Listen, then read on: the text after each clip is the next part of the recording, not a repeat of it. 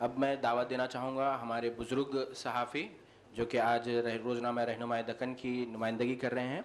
मेरी मुराद जनाब हसन फ़र्रुख साहब से है कि वो अपने नुक़ नज़र को पेश करें। जनाब हसन फ़र्रुख साहब। प्रोफेसर वहाब खैसर साहब मुस्तफ़ा अली सरवरी साहब अब तक जो बातें हमारे साथियों ने कही हैं मैं कोशिश करूँगा कि उन्हें दोहराने ना पाऊँ। मौलाना आज़ाद तकारीब के सिलसिले में चूँकि ये मुबासा मनद किया गया है, इसलिए मैं सबसे पहले मौलाना आज़ाद के तस्वुर सहाफ़त से बात शुरू करता हूँ। मौलाना आज़ाद सहाफ़ी, सहाफ़त को तजारती इदारा नहीं समझते थे। उनका इद्या था कि कोई तजारती फ़िक्र नहीं होनी चाहिए। उन्होंने कहा था कि उन्होंने अखबार इस मकसद से निकाला है कि वो मुसलमानों को कुरान की तालीम की तरफ़ ले जाएँ और उन्हें हसूल आज़ादी की जद्दोजहद में शरीक होने के लिए तैयार करें। और उन्होंने कभी किसी की मदद कबूल नहीं की अब वो अक्सर सहाफ़त की अखलाकियात की बात करते थे। अगरचे बाज़ अवत उन्होंने अपने मुखालफन को जक पहुँचाने के लिए इन अखलाक़ी ख़दरों से इनहराफ भी किया।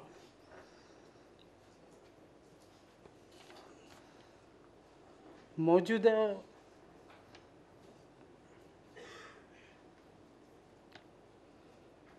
जो रुझान आज का मौजू है, उस बारे में ये ये है कि आज मौजूदा रुझाना में तहकीक़ाती सहाफ़त, खसूस रिपोर्ट्स और फीचर्स शामिल हैं।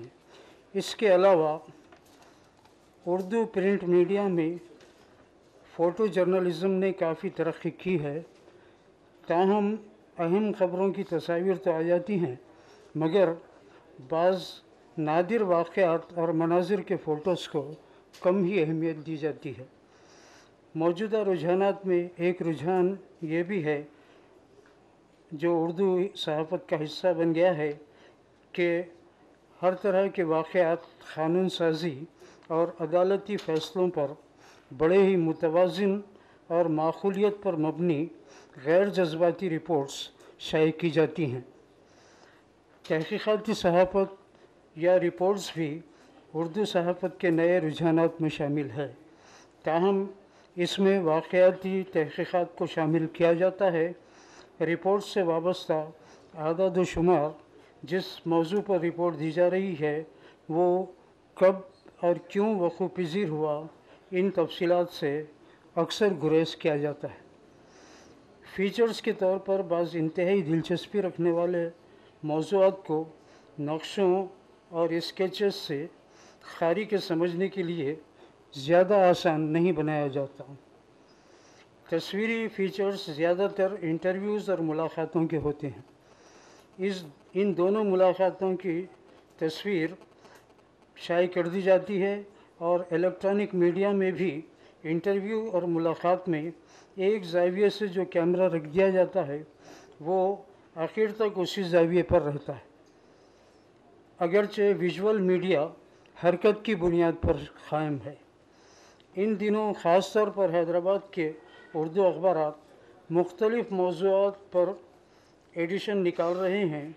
एक सफ़ा इस मौजू के लिए मुख्त कर रहे हैं, जैसे स्पोर्ट्स अदब व शायरी, ख़वातीन और बच्चों के लिए एडिशन कैरियर बनाने से मुतक़ मालूम तालीम साइंस और टेक्नोलॉजी इंफॉर्मेशन टेक्नोलॉजी वगैरह।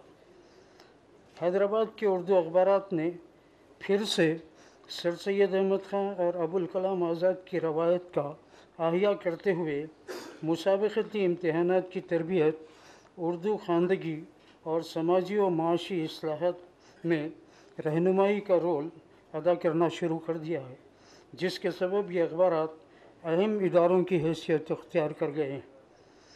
बाज़ अखबार के सिलसिले में ये कहा जा सकता है कि उन्होंने बाज़ गिरोहों या सियासी पार्टियों की तइद व हिमायत का गैर ज़रूरी रोल अपनाया है। इम्तियाज़ अली ताज साहब ने भी इस तरफ़ इशारा किया था।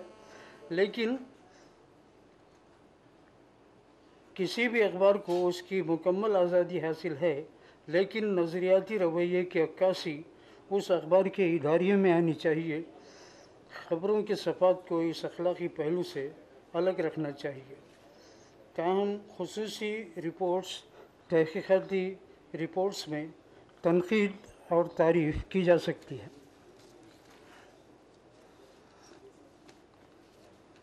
उर्दू अखबार रेडियो और टी वी में इन रुझान का असर बहुत कम है, लेकिन इसकी वजह यह भी हो सकती है ख़ास तौर पर प्रिंट मीडिया में कि उसकी ख़बरों की जो गुंजाइश है, उसका बड़ा हिस्सा बयानात और इतलात से भर जाता है।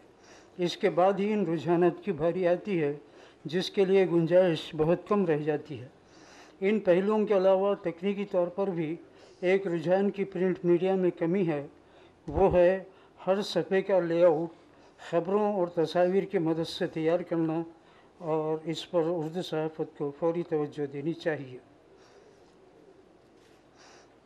आज़ादी के बाद बिलूम जो सहाफ़त और उर्दू सहाफ़त ने ज़बरदस्त तरक्की की और तकनीकी तौर पर प्रिंट मीडिया के अलावा इलेक्ट्रॉनिक मीडिया की तरक्की भी देर से सही मगर तेज़ी से हुई। इलेक्ट्रॉनिक मीडिया में, ऑडियो मीडिया में आकाशवाणी को बड़ी हद तक इजारादारी हासिल है। सिवाय मिर्ची रेडियो, एफएम रेडियो और चंद ऐसे नशरी नशरियाती इदारों के।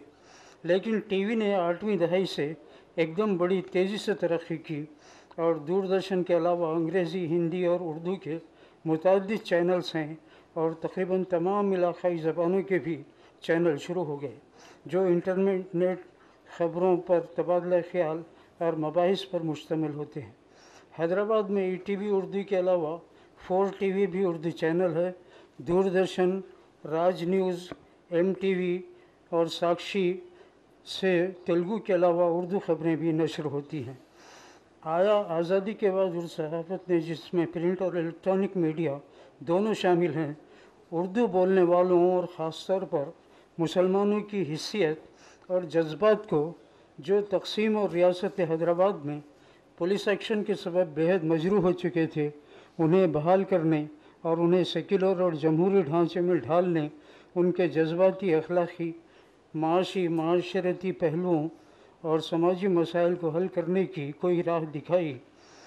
ये कहने में मुझे कोई तामुल नहीं है कि इन अखबार ने इनसे मुतव इस रोल को अदा करने में नाकाम रहेगी हैदराबाद के अखबार अलबत् इस मामले में इस्तनाई सूरत के हामिल हैं। हैदराबाद के उस वक्त के सभी अखबार रहनुमा दक्कन, सियासत, प्याम, मिलाप, अंगारे वगैरह ने बहुत ही मुस्बत, मौसर और सेकुलर रोल अदा करते हुए मुसलमानों में जो हिसास से अजनबीयत और बेगानगी पैदा हो गया था, उसे न सिर्फ़ दूर किया, बल्कि उनमें एक नई खुद अतमादी की ऐसी लहर पैदा कर दी कि जहाँ उन पर सरकारी मुलाजिमतों के दरवाज़े बंद हो गए थे। उन्होंने छोटे मोटे कारोबार और दूसरे मुतबाद रोज़गार के मौक़े इसी खुद अतमादी के ज़रिए पैदा कर लिए। अखबार अखबार के बाद सबसे पहले मीडिया के शोबे में केबल टीवी ने जगह हासिल की है।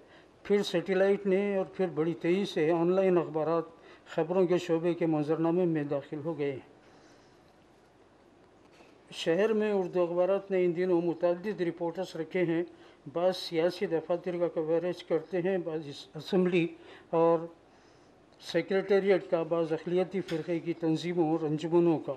यूँ तो इस मामले में भी मुसाबकत पाई जाती है, लेकिन ये मुसाबकत उतनी शदीद नहीं है, क्योंकि उर्दू अखबार ने इस मौजूदा रुझान को नहीं अपनाया है।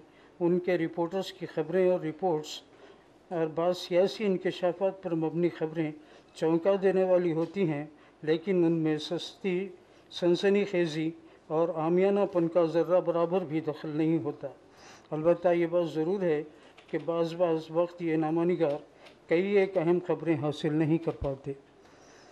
यहाँ इस वक्त सरवरी साहब वासे आबिद अब्दुल वासे और राजेश रैना मौजूद हैं, जो मेरे साथ ई टी वी में काम, मेरे साथ काम कर चुके हैं और आज जब इम्तियाज़ अली ताज ने ईटीवी के ख़बरों के कवरेज की तारीफ़ की तो मुझे खुशी हुई कि हम लोगों की मेहनत चीज़ हुई क्योंकि हम लोग अब ईटीवी से हम में से दोनों तीनों में से कोई भी वाबस्ता नहीं है। हाँ राजेश रैना है अभी लेकिन हमने एक अच्छा नक्श छोड़ा है और मुझे उम्मीद है कि दूसरे चैनल्स भी बाज़, बातों में इस तरफ़ तवज्जो देंगे और ख़ास तौर पर विजुअल मीडिया के लोग जो लोग हैं उन लोगों को मिसाल के तौर पर इस जानब तवज्जो नहीं करनी चाहिए कि सिर्फ़ जो है थोड़ी कैमरे को एक जगह रख दिया जाए बल्कि कोशिश ये करनी चाहिए कि उसके मुख्तलिफ़ पहलुओं को पेश किया जाए सिवाय एक एक एंगल पर मुलाकात और मुलाकाती की तस, तस्वीर पेश करने के और दूसरे दस आधे घंटे की न्यूज़ में अगर 20 मिनट की मुलाकात हो या इंटरव्यूज़ हों तो ये भी कोई ठीक बात नहीं है। इम्तियाज़ अली ताज साहब, उर्दू न्यूज़ शुरू होने के वक्त प्रोड्यूसर थे। मेरी उनसे ये शिकायत है कि उन्होंने अपने उर्दू न्यूज़ के पहल करने में उसके स्लाट्स मुकर नहीं किए कि कितने मिनट जो है बैन अवी ख़बरें होनी चाहिए, कितने मिनट नेशनल होनी चाहिए कितने मिनट इला, इलाकाई और रियासती खबरें होनी चाहिए। और इस बात पे हमारे दूसरे चैनल्स भी तवज्जो नहीं दे रहे हैं। अलबत्त मैं फिर एक बार यही कहूँगा कि सिर्फ़ ईटीवी में इस चीज़ की अहमियत है और वो लोग इस पर अमल कर रहे हैं। बेहद शुक्रिया। मैं गुजारिश करूँगा जनाब अयूब अली ख़ान साहब से कि वो हमें मुखातिब करें। जनाब सदर प्रोफेशनल कलीग्स इस और अज़ीज़ तालब मैं अंग्रेज़ी सहाफ़त से ज़रूर जुड़ा हुआ हूँ पिछले कम अज़ कम तीन दहों से। मगर उर्दू से कभी मेरा नाता जो है, रिश्ता जो है कमज़ोर नहीं रहा। दोस्तों, उर्दू सहाफ़त की तारीख़ अजीम शान है। ये तारीख़ है आज़ादी की तारीख़। आज़ादी में जिस किस्म का रोल उर्दू सहाफ़त ने प्ले किया, उससे आप लोग वाकिफ़ हैं। हमारे मोहतरम प्रोफेसर वहाब कैसर ने मौलाना अबुल कलाम आज़ाद के हवाले से आपको काफ़ी तफसील से बातें बताई कि किन चीज़ों की उस ज़माने में ज़रूरत थी और उसको किस तरीके से पूरा गया। जो दौर 1947 से शुरू होता है, वो दौर है जर्नलिज़म के बिल्कुल नई शक्ल का। हम में से आज भी ये महसूस करते हैं कि जर्नलिज़्म कमर्शियल ना हो, इंडस्ट्री ना बने, मगर ये सिर्फ़ ख्वाहिश है, ये ख्वाहिश कभी तकमील पा नहीं सकती। Journalism has become an industry journalism has been totally commercialized when you have a commercial product you sell it and when you sell it you decide the audience that's how you go about doing things now इस commercialism का जो बुरा असर अंग्रेज़ी सहाफ़त पर हुआ है और जो ज़बान दूसरी ज़बानों की सहाफ़त पर हुआ है उतना बुरा असर आपको उर्दू सहाफ़त पर दिखाई नहीं देता। मगर उसके बावजूद मैं ये कहना चाहूँगा कि हर वो मालिक जो अखबार निकाल रहा है, उसका मकसद पैसा कमाना है।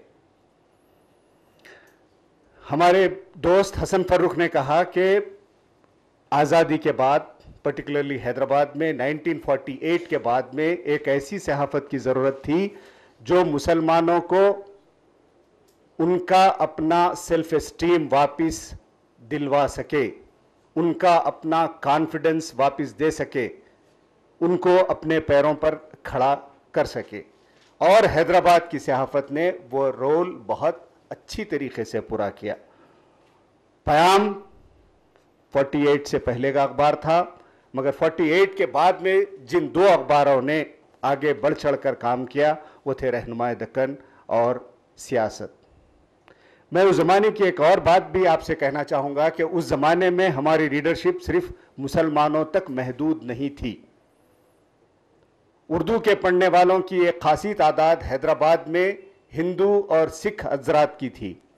मगर वो आहिस्ता आहिस्ता पिछले साठ वर्षों में नहीं के बराबर हो गई है। मुश्किल से एक फ़ीसद भी उर्दू का पढ़ने वाला गैर मुस्लिम नहीं रहा, जिसका मुझे बेइंतहा अफसोस है। मैं समझता हूँ कि आप लोग भी इस अफसोस इस अफसोस को शेयर करते हैं। अब जब आपका रीडर मुसलमान है तो आप उस रीडर को क्या दे रहे हैं?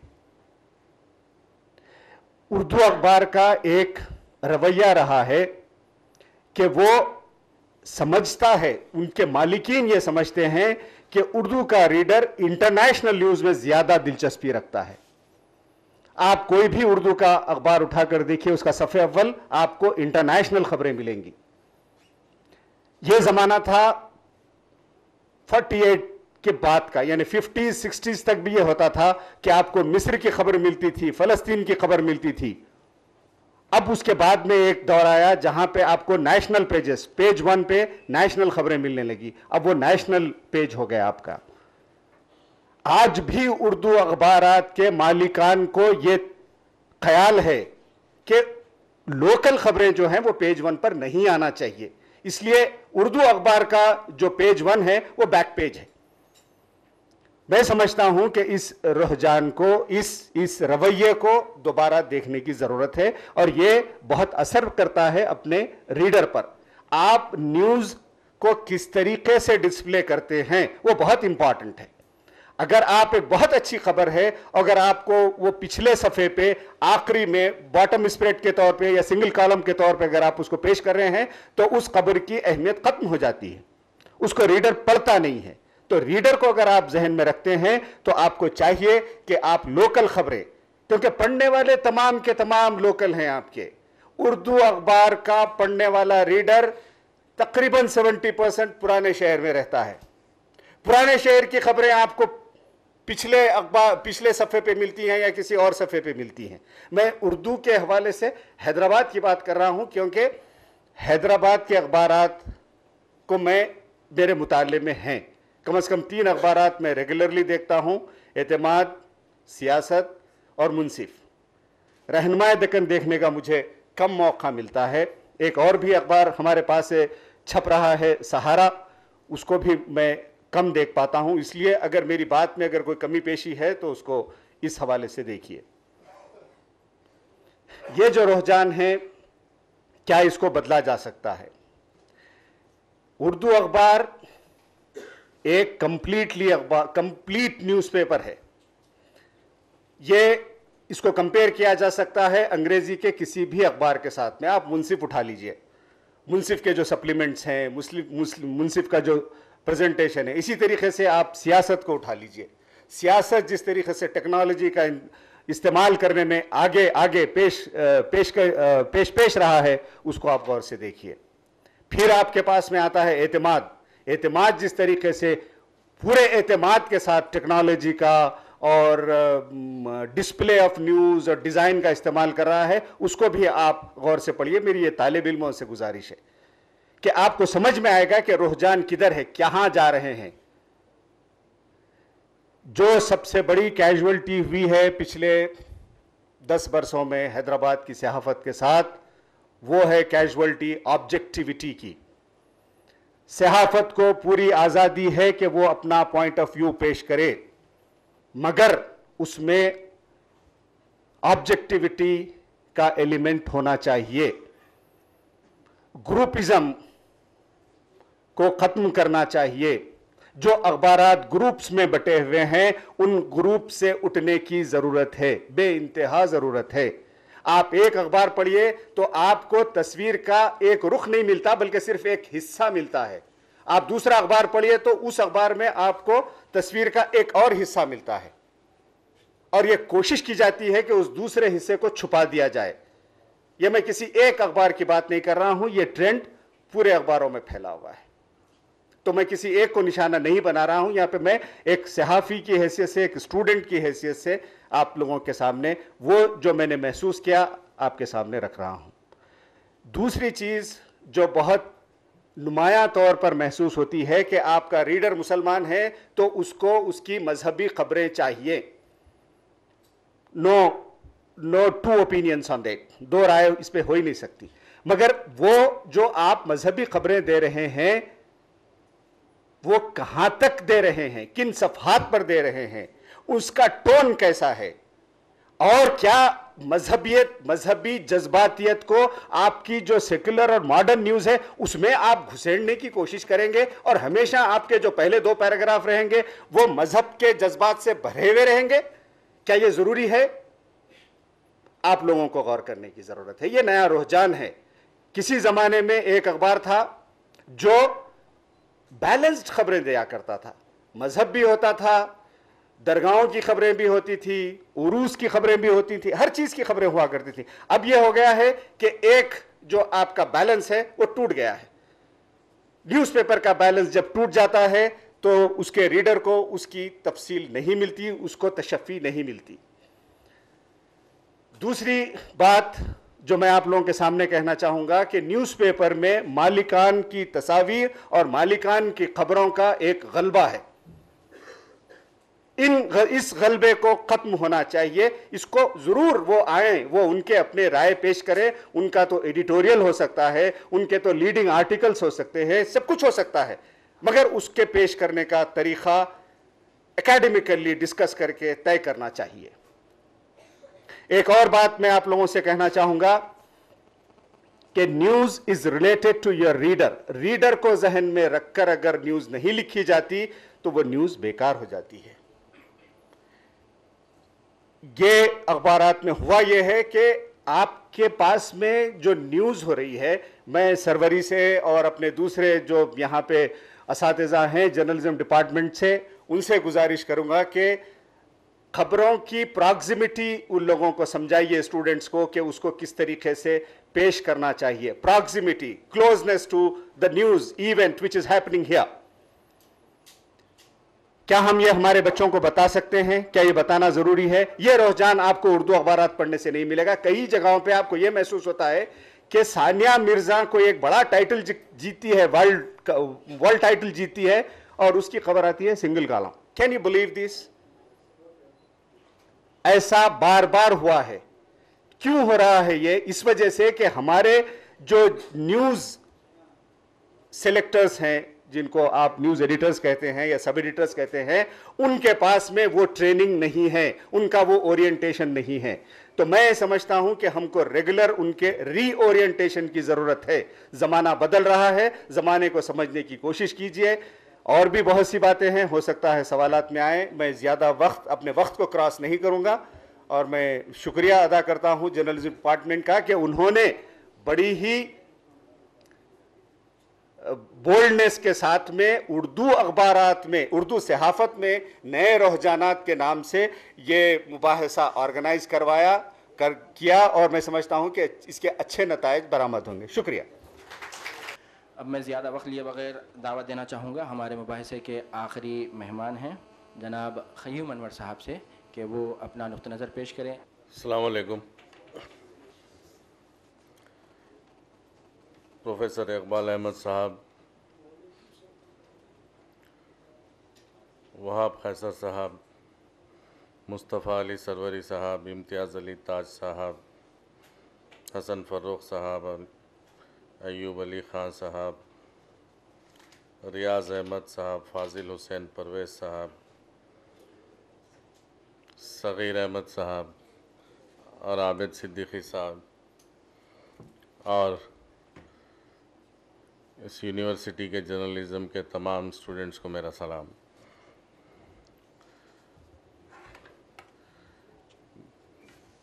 जैसा कि मुस्तफ़ा अली सरवरी ने आपको बताया कि मेरा ताल्लुक़ उर्दू और अंग्रेज़ी दोनों सहाफ़ती इदारों से रहा, लेकिन जब भी मैंने अंग्रेज़ी सहाफ़त में काम किया, मैं तो ब्लेम नहीं करना चाहूँगा, लेकिन मैंने हमेशा एक चीज़ महसूस की कि अंग्रेज़ी सहाफ़त में उर्दू का या उर्दू वालों का कोई मुकाम नहीं है।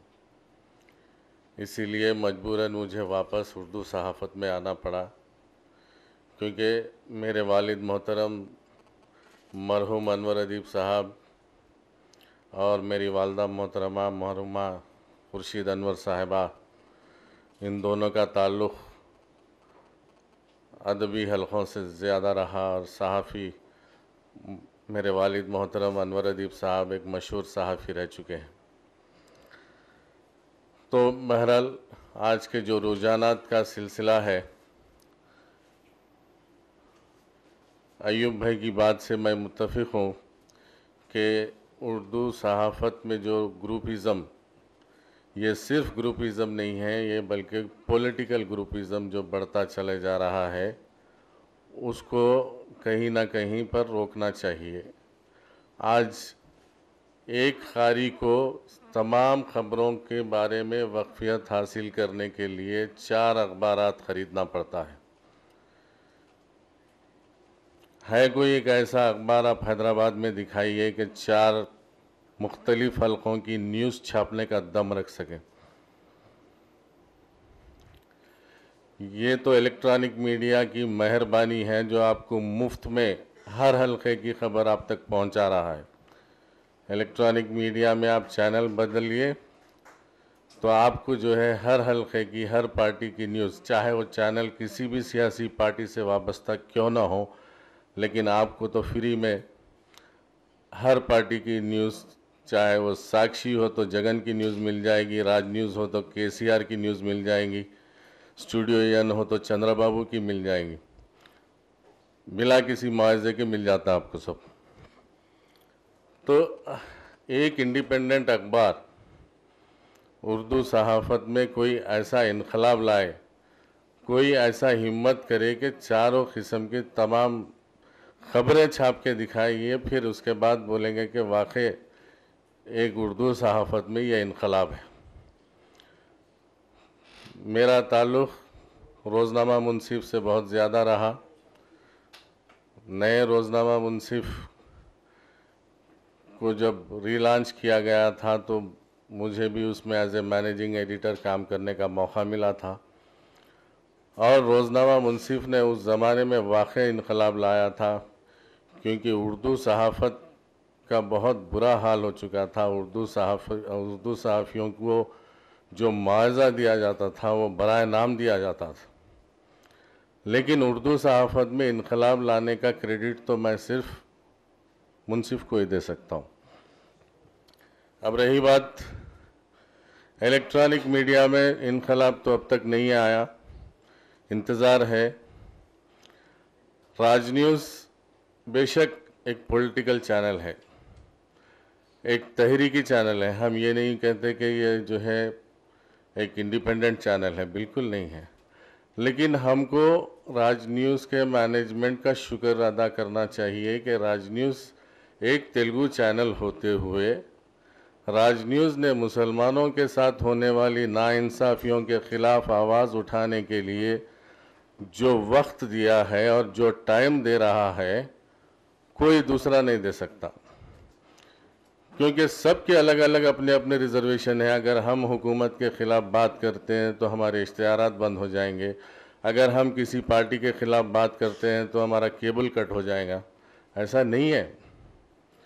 जब तक हम अपने आप में कॉन्फिडेंस ना बना लें कि हमको ये करना है, अब एक ज़माने में अकबर इलाहाबादी ने कहा था कि न कमान खींचो, ना तीर निकालो। तोप हो अगर मुकाबिल तो अखबार निकालो। तो उस ज़माने में तोप का मुकाबला अखबार किया करता था। तो आज अखबार का मुकाबला किससे कर सकते हैं हम? क्योंकि अखबार चलाने वाले जब हुकूमत को सरेंडर हो जाते हैं, अखबार चलाने वालों के, मैं सहाफ़ियों की बात नहीं कर रहा हूँ, अखबार के मालिकों की बात कर रहा हूँ। तो फिर अखबार में दम कहाँ है? इम्तियाज़ साहब की एक बात अच्छी लगी कि मैं जो है सरकारी मुलाजिम हूँ, मैं ऐसा, मैं न्यूज़ की पॉलिसी है मेरी। इम्तियाज़ भाई, आप सरकारी मुलाजिम है, आपको तो जॉब सिक्योरिटी है। प्राइवेट मुलाजिमों की क्या हालत है? वो तो वही लिखेगा ना जो उसका मालिक बोलेगा। आपको तो कम से कम पेंशन तो है, यहाँ तो ईएसआई भी नहीं मिलता हमारे पास।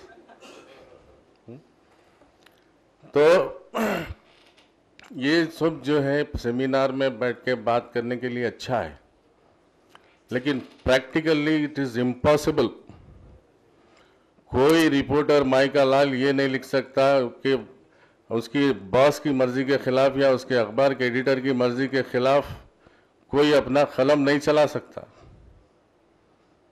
तो इसके लिए जो है जैसा सरवरी साहब ने ये कोशिश की आज जो रुझानात के बारे में जो सेमिनार रखा है, इसके रेजोल्यूशन की काफ़ी सारे अखबारों के मालिकों के पास भेजिए आप,